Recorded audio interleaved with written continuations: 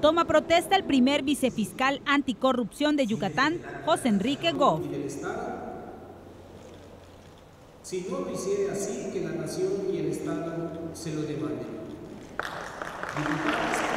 Con 24 votos a favor y uno en contra del partido Morena, fue ratificado al cargo por los diputados locales y aseguró que el peso de la ley será igual para todos. Darle la plena seguridad a la sociedad de que no habrá ninguna denuncia por el delito de corrupción que no quede sin ser investigado y en su caso sin que sean eh, afrontadas las consecuencias legales por parte de los servidores públicos. Este cargo, que ocupará por siete años, fue avalado después de oír las voces de las bancadas que integran el Congreso local es la de alguien que es ajeno a los partidos un elemento clave para el cargo, en virtud de que se busca garantizar la mayor autonomía posible a alguien que cuenta con las facultades para investigar a las autoridades emanadas de cualquier corriente o de cualquier ideología.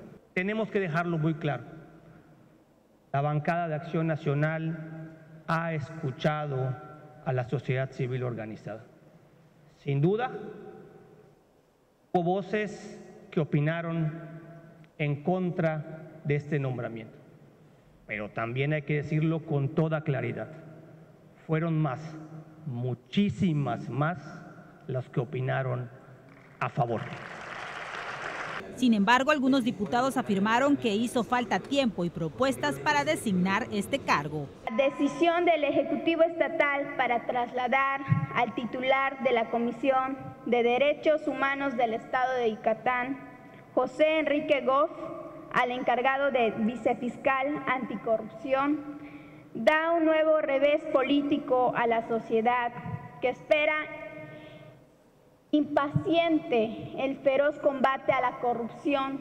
Por su parte, la presidenta de la Junta de Gobierno y Coordinación Política solicitó al vicefiscal trabajar apegándose al Estado de Derecho. Exhortar al nuevo vicefiscal a que se conduzca con transparencia y estricto apego a la ley. Y por supuesto también estaremos pendientes en todo momento de lo que realice, de su actuar como vicefiscal anticorrupción. La próxima tarea del nuevo vicefiscal anticorrupción de Yucatán será analizar quiénes integrarán su equipo de trabajo.